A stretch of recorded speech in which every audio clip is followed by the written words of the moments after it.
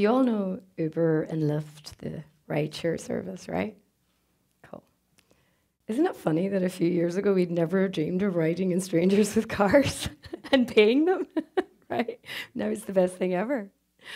So um, I got an Uber in New York, and I was in a real rush, and I got my phone out and I just tapped it, and it took the first car I could get. And I was like, "Let's go, let's go!" And uh, the guy pulls up in the car, and it's it's a really average car, and I was like, "Oh, is that it?" so I get in the car anyway, and the guy's really friendly. And uh, he's chatting away. He's like, Where are you from? What are you doing here? I was like, oh, I'm from Donegal. I'm speaking at a conference here. And he's like, Right, what's Donegal like? I was like, Well, it's really small. And, you know, he was so friendly and so nice. And, you know, I got to the destination and I go to get out and I'm like, Thanks a million. It was really nice to meet you. Bye. And he goes, Oh, excuse me. Can you give me a five star rating? And I was like, What? And he goes, Can you give me a five star rating? And I was like, Why? And he was like, Well, I want to boost my score. And I was like, okay. So I take my phone out, I give the guy a five star rating, I go on with my day. And I'm like, all day, I'm like thinking about this, you know, like, and I get on the plane home and I'm like, you know, when something's on your mind and you're like, you know, you know, there's a lesson in here. And I was just like, what is it? What is it? And after a few days, I really thought about it.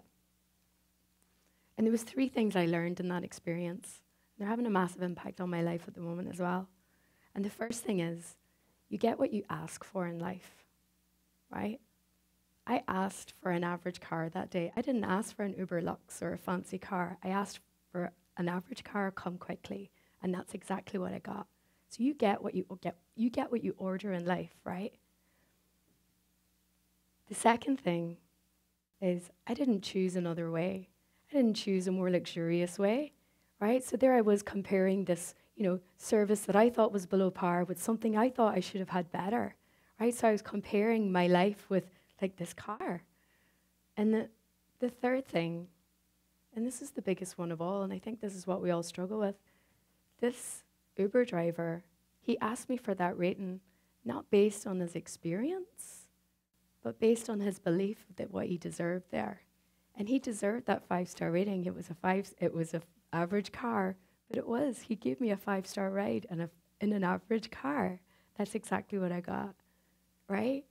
And I think that it's life gives us like, it's like the simplest lessons. You think the simplest moments can have the biggest lessons in our life. And if we can just remember that what you ask for, you will get. What you choose, you will get. And what you believe, you will get. And those have been the biggest lessons for me, and I hope they serve you in your life. Thank you.